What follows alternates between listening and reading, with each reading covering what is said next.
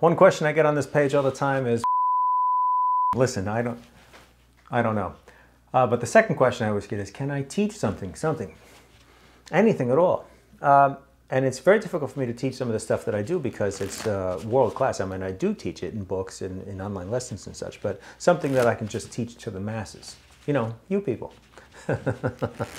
so I will do that. They're called self-working card tricks.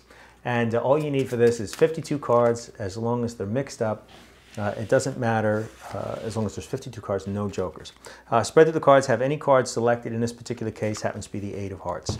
All right, no, there's no other Eight of Hearts in the deck. It's not a magic trick like there's some deception. You just need to make sure that it's 52 cards. Take the Eight of Hearts, put it back anywhere you want, and shuffle the cards.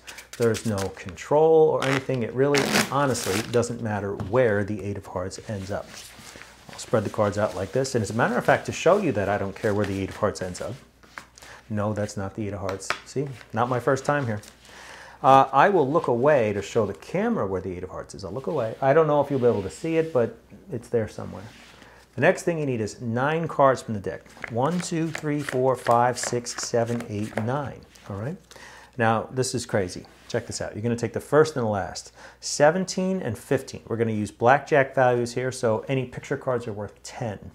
17 and 15. Sometimes in other videos, jacks are 11, queens are 12, kings are 13, uh, but in this case, just blackjack. You then count down to these two particular numbers. So 17, 1, 2, 3, 4, 5, 6, 7, 8, 9, 10, 11, 12, 13, 14, 15, 16, 17, and then 15. 1, 2, 3, 4, 5, 6, 7, 8, 9, 10, 11, 12, 13, 14, 15. The 15th card is the Eight of Hearts. Um, I don't, I don't exactly know how it works, but it is fascinating. It really is fascinating. Now, of course, people are going to say ridiculous things like there's more Eight of Hearts or there's not 52 cards. Clearly, you can see that there's only 52 cards. There's no other Eight of Hearts. It's a math-based trick. But the thing that gets me is how would 17 and 15 give me the position of the eight? What if there was nine different cards on the table? Take the two ends, it would be a different number. But there you go. The least I can do is teach you how to do one. Uh, enjoy.